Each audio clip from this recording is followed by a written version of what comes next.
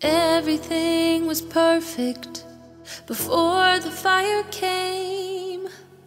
Now I've lost my home and every friend I ever made. Mama said we're gonna start over, but I don't wanna start all over. I don't know what I will do if I have to move. But as I chest beating through, I never thought that sight was what I'd see.